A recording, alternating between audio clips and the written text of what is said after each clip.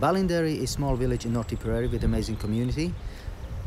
And the Roiste's restaurant was open here in summer 2020. With all the COVID trouble, may not look like best idea, but the Roiste's became one of the most successful and most looked for restaurants in the area. As you see, they're working hard. Their smoke is coming out of the smokehouse, and I'm going to talk to Mark Irwin, head chef here, and look for answers. What is the actually uh, secret to their success? There's no secret really. It's just um, we do everything fresh in house. We don't have a freezer. We don't have a microwave.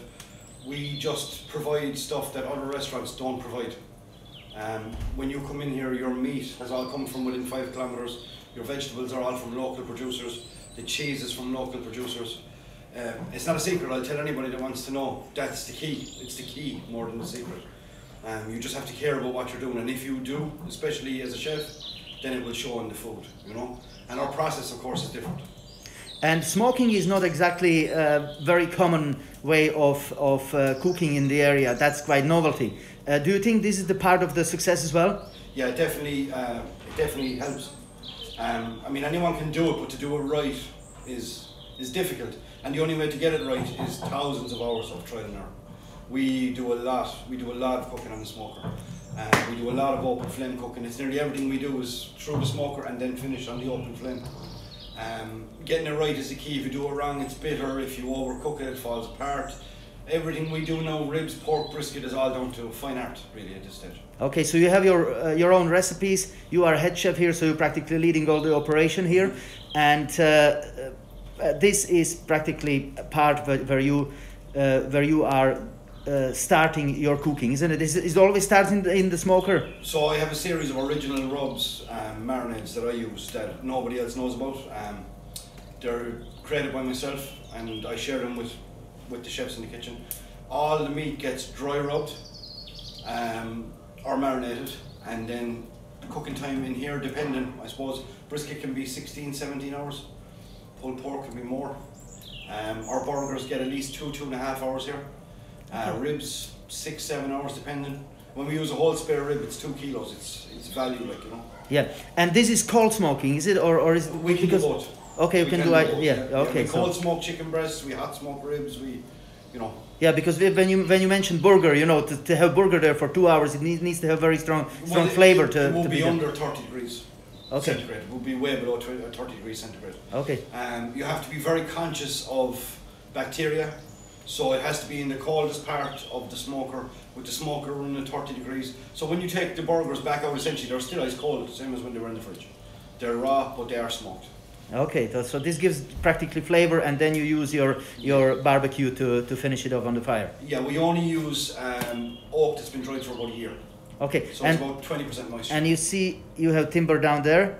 You have lots. Uh, so practically everything is sourced locally. Everything. Uh, timber, food, uh, practically everything. Even even the people. well, I brought most of them with me from Limerick. okay, so this is only only only thing what was practically brought up here, you know. But uh, everything else is sourced uh, locally. So this is your uh, maybe biggest attraction, is it? Uh, this is tomahawk uh, tomahawk Yeah. uh, steak. Mhm. How heavy? How big is it? It's it, it comes in between 42 and 48 ounces. Um, this one is over 44 anyway, definitely. Okay, so that this is practically feeds whole family, isn't it? Well, it can do, but we sell them to one person. yeah. I'd say person needs to take take it away after after that. You know, it's, it's Yeah. lots of meat, lots of beautiful meat. Looks very good. It's prime ribeye.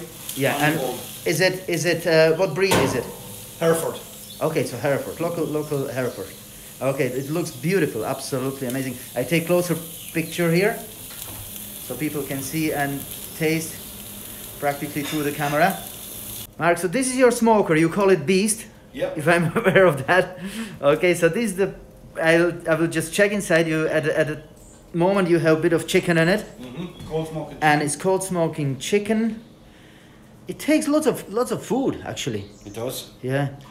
It So takes about 90 kilos of ribs. okay, and how long will you keep this chicken here? Uh, about 90 minutes. 90 minutes to two hours, depending. Um, I'll know by the colour um, when it has the flavour. Okay. We wait for it to get the smoke ring on the outside, which is almost a pink tint. And then we can cook them over the open flame as they're ordered, but they will be cold still. They're ice cold down to the touch. Yeah, yeah, yeah. And they will still be. Perfect. It's it's it's fine size smoker, isn't it? Yeah, like it's 90 kilo. 90 kilo is lots of meat. So, Mark, you are open six days a week, okay, from Tuesday until Sunday. And uh, how much meat do you use practically over the week, or, or what, what- are the about numbers so we have a bit of idea? So in the summer we use probably just under three tons a week. Three tons of meat. Mhm. Okay, that's a lot. It is a lot. It's a lot to prepare. It's a lot to cook. And we don't have a huge amount of space, but the fact that we get a delivery every day uh, works out quite well for us. You know. Okay. So we can get, I can get a quarter ton of ribs on a Tuesday morning and Wednesday morning, and if I need to be on Thursday morning, you know, and how often do you change your menu? every 12 weeks. So I change seasonally. Okay. We have four menus a year, um, in order to keep freshness at its peak. So in the autumn we had venison. We're just finishing up on duck season. Our duck is going off. Crab season is nearly upon us. We'll have fresh crab. Whatever's in season, whatever berries nuts, um, whatever fish game is in season is what I will use for 12 weeks. It's also better for price if something is in season. Yeah, yeah. I don't want to buy venison um, in, in the spring because it's going to cost more. It's farmed. I don't want farmed. I want wild. Uh, so it's better for us. It's better for our customers. Yeah. And venison is locally sourced as well, if you, if you can, yeah. Yeah. Okay, that's amazing. Mark, on the top of all the original stuff you are doing here, like smoking and and uh, barbecuing and sourcing locally, um, what is uh, what is the secret uh, to your to your cooking? Well, you probably hit the nail on the head with your question. Originality. Um, the recipes that I use here, you won't get them anywhere else. Um, this is as good of barbecue food as you will get anywhere in the world, in my opinion. Um, I don't know another place in Ireland that's doing things the way we do them, at the level we do them, um, as consistently as we do them right. I just don't see that there is anyone that can actually keep up with us. I would like to think that next year, the coming year, we will certainly uh, win some awards. Um, just because of what we do and how we do it, the, the originality, the freshness, the seasonality, the quality, the consistency. It's the same every day for 12 weeks and I change the menu. You know, you're always going to have your, your barbecue staples, your pork, your brisket, your ribs, but we're always also going to have um, smokehouse seasonal game, um, fresh seafood, all that kind of stuff. I feel that there's probably nobody on the island at the moment that is at the level that we are at.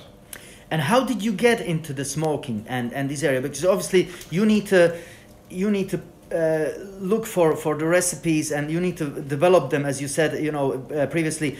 But it, you need to get this idea and, and did you have experience from elsewhere? Because I know America is the big space place where, where, where they are smoking. So did you get your experience there or did you learn here in Ireland or elsewhere? No, I learned here in Ireland. Um, a lot of it is through trial and error, and also um, with a very good friend of mine, we competed nationally um, and internationally in barbecue competitions, and we had a lot of success. Um, we had a lot of success early on as well when we didn't know very much. So kind of the more we got into it, the more we tried, the more we researched, and the more we realise we can actually do this our own way. You don't have to stick to the, the classic way of doing it. You can create new systems, you can create new recipes, and when you get good enough, you can create new methods. And so that's kind of what I've been doing over the last number of years. Um, I mean, before I started here, I was at home for a year because of coronavirus, like every Yeah. other chef in the country. And I was before I ever knew I was going to be working here, I was already developing rubs, recipes, homemade barbecue sauces, just to have them anyway because it's a passion more more so than it will ever be a profession, you know. Yeah. Um, and so that leaned itself heavily to this when I got when I got here. So you put Ballinderry on the on the map. Well, yeah, but DJ and me put Ballinderry DJ, DJ as well. absolutely, Yeah. we have to mention DJ, of course, as well. course. And you are uh, cooperating with the Chestnut in Bor as well. That's right. So we do open fire cooking there at the weekends, um, and it's quite busy. We don't have a smoker there, but what we do have is open fire barbecues, and so we cook in front of the guests over there. I mean, it's fantastic. Really good cocktails and freshly cooked meat are amazing together. Okay, so you are not bringing smoked meat from here. You are doing just barbecue there. No, I'm bringing smoked Okay. meat um, in a cooler, Yeah. and we have a refrigerator over there. So we put it in there, and then when it's ordered, we cook it. Okay. We cook it for the guests over So there. that's the Friday, Saturday, and Sunday in, in Chestnut as well. Okay, and are you planning to expand a bit more, or is it is it uh, uh, too early to ask you the question like this? Peter, we haven't even got started. Yeah. Um, we're going to expand, yeah. This is a monster we've created, like, you know, and it's a massive, massive team effort. The Roach family um, are very, very good to their staff. And they know that if they hire the right people and let them do their job, they'll be successful. And that's what we're doing.